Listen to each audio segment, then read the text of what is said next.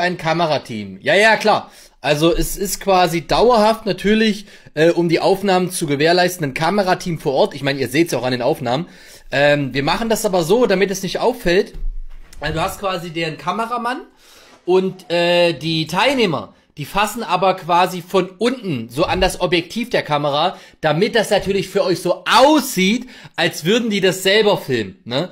Und ihr merkt, der Ton ist eigentlich auch ganz crisp, deswegen haben wir zusätzlich zum Kameramann immer noch einen Tonmann dahinter mit einer Tonangel. Der ist aber, den seht ihr nicht, weil der ja hinten hinterm Kameramann ist.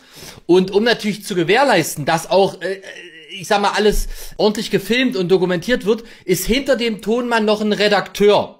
Das ist quasi so eine Art Dreiergespann. So eine Art, Weiß ich nicht. Also, ihr müsst euch vorstellen, dass an, an der Hand des Protagonisten drei Leute dranhängen in einer Art Verbindung. So, und wenn die sich jetzt zum Beispiel auch mal schnell drehen, um was zu zeigen hinter sich, dann muss natürlich dieses Dreiergespann extrem schnell reagieren.